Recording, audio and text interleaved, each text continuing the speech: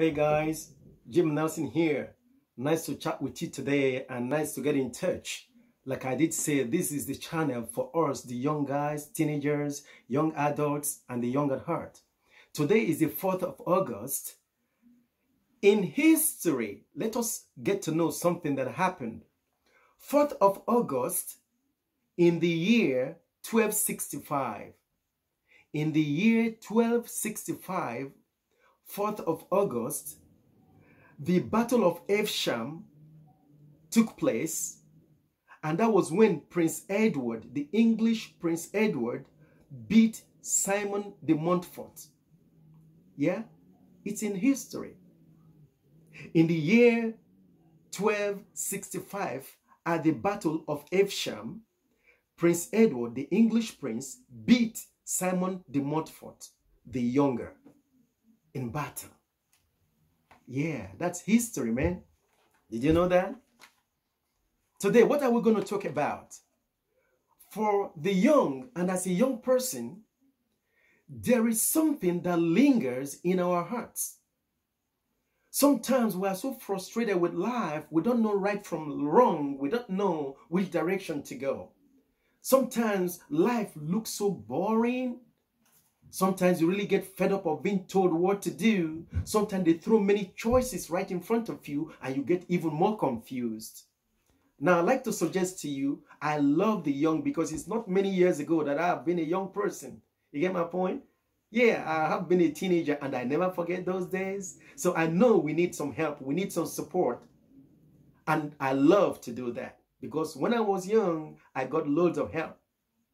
I wrote a book for young people it's called Pathway to Discovering Your Purpose in Life by Jim Nelson. You can grab even electronic copies from Amazon. Now, the reason why I'm bringing this book to you, there are rich information. For example, today, in the first chapter, let's talk about purpose. You don't need to get frustrated with your life, get confused with too many choices. Okay?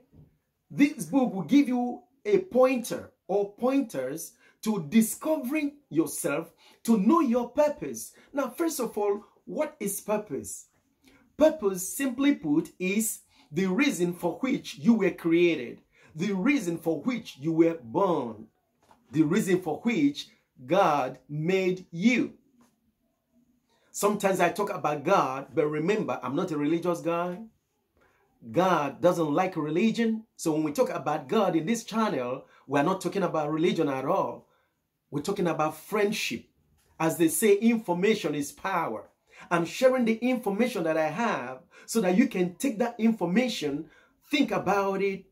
You can ask me a question, drop me some email or messages. I'll be very happy to respond because through exchanging information, we can enrich ourselves. That's why they say information is power. So don't get frustrated don't get discouraged. Let's keep chatting to one another, encouraging one another, sharing information, and we'll see how we come at the other side, you know? Purpose. There is a reason for which you were created. It doesn't matter what the circumstances around your birth may be. It doesn't matter.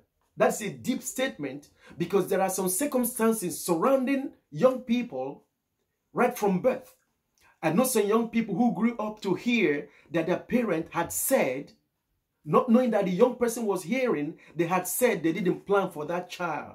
It could be you. Have you ever heard such thing? It's hurting. And then there are some parents who say very hurting words like, you are not good for anything. Look at your mates are thriving and moving on. And they call your names. Those are hurting. But it's time for me to tell you something. You don't have to prove anything to anyone. All you need to do is to have the right information. So today, I'd like to let you know there is a purpose for which you were made and why you are still alive right now listening to me. I want you to believe that. There is something in you that you need to discover. And that is your purpose. Why did God create you? Why are you alive in this planet right now? And how is it that you are listening to me right now, encouraging you to let you know there is something great in you?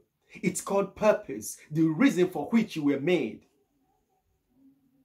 Let me give you example. Everything God made has a purpose. Okay? That's a fact. Trees, for example. Why are trees all over the place? You have organizations like Friends of the Earth. They don't want you to cut down the trees. Trees have purpose. When carbon dioxide accumulates in the atmosphere, what happens? The trees know their purpose is to absorb that carbon dioxide and then release oxygen into the atmosphere. So whenever there is a concentration of carbon dioxide in the atmosphere, what happens? The tree knows its purpose and the trees go to work. They absorb the, the oxygen, I mean the carbon dioxide, and they release oxygen into the air. That's why we are alive and breathing oxygen. And that's why friends of the earth don't want us to cut down trees at random. So the trees know their purpose. You get me? You got to know your purpose. I give another example. Water. We have water everywhere. Sometimes you hear the government saying that we should uh, not waste water, we should conserve them.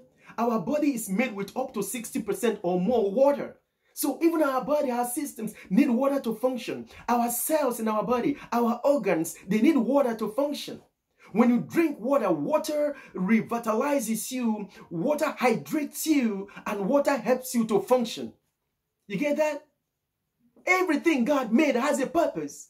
And they all fulfill their purpose. You, you got a purpose. Now we got to find out what is your purpose. Then we can guide you into living to fulfill that purpose. But before you fulfill the purpose, you've got to discover it. You are not a waste. You are not an accident. You are not a mistake. I want you to know that. By the time we go through discussing in the next series as we progress in this channel, you will be amazed when you discover your purpose. Oh man, you'll be fired up and ready to go somewhere. Until next time, I want you to think about this. Is there a reason I was made? I got to find out.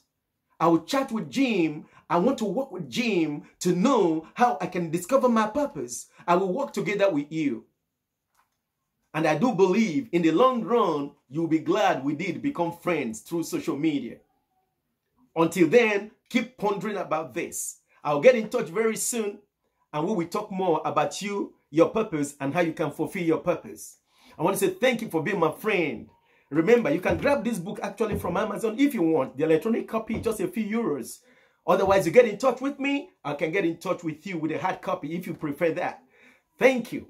I want to say thank you, thank you for being there for me, for listening to me, and sharing your opinions with me.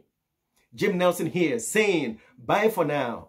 Adios, ciao, go to I like you, man. Thank you, thank you. See